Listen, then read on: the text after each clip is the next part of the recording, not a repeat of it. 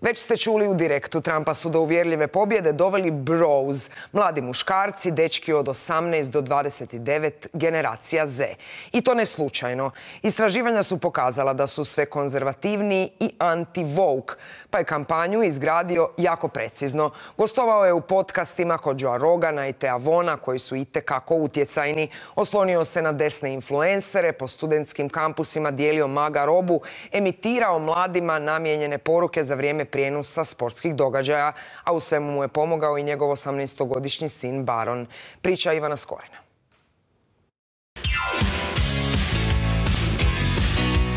Od klasičnog strašenja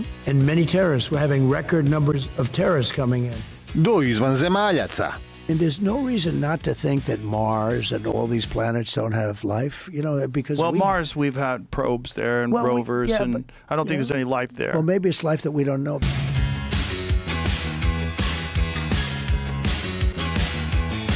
Pa malo o usporedbi kokaina i alkohola, pa malo o problemima kečera. They were really hard. Well, how did you do that? So that was wow. That's a Yeah, you're you just it, it's a crazy thing. which is worse. For me, drugs is the problem, but if I have a drink, then I, it's tougher for me to prevent myself from getting. It it sets off a chain. Yeah. But is which is harder to quit? I've heard alcohol is harder to quit. I tako satima Full Send 3 milijuna, Friedman 6, Flagrant 7, Tio Von 14, ne, ne nabrojam samo nasumične riječi i brojeve, već imena turbopopularnih podcasta i broj gledatelja. Naravno, onaj sa Joe Roganom je daleko najgledaniji, 47 milijuna. Šerali su se lajkali klipovi sa tih neklasičnih platformi više nego klasičnih. Zašto više vole tebe nego mene? A, to je ono video kill the radio star, sad je, kako kažu osveta šmokljana zapravo, ali rekao bi neposrednost, evo to je nekakav kratki odgovor na jedno kompleksno pitanje.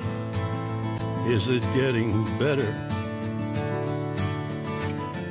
Neposredna, pa mogu i ja biti podcasterski neposredna. men and women support women in leadership. My plan includes giving Ma kakve porezne olakšice, Kamala je odradila šest podcasta, gotovo nitko ih nije primijetio, ni šerao. Joe Rogan je više puta spomenuo da bi Kamala Harris isto bila jako dobra goša.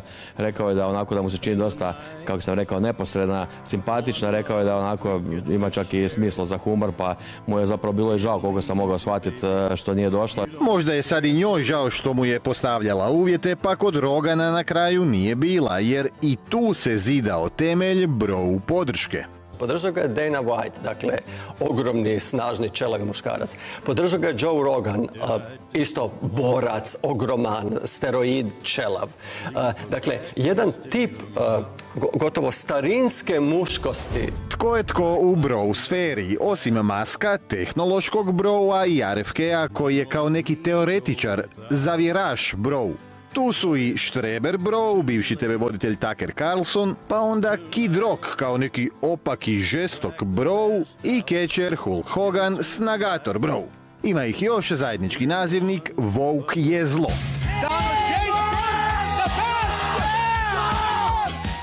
Prije izbora znali smo da će i to biti faktor, ali ne i presudan. Da, nije se toliko spominjao kao da je čučio, jel, negdje i onda sad se u izborima pojavio. Ali on je tu kuhao se cijelo vrijeme. Ne možeš ti kontinuirano jednu skupinu ljudi kontinuirano ono demonizirati i stavljati u nekakvu kategoriju koju se oni ne osjećaju da se oni na neki način ne pobune. Mladi bijeli osjećao se demonizirano, ok, kako tu pobunu iskoristiti.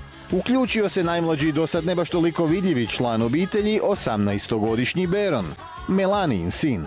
Naslovi su sad puni analiza, ne podcjenjujte Berona, nazovite Berona, Trump je sina zamolio za pomoć u strategiji Edgy Bro podcast. Say, I, I do want to do a little victory dance with you. Ovo vam je smiješno, super, čudno, bizarno, još bolje. To znači da ćete kliknuti, a kad kliknete, imam vas.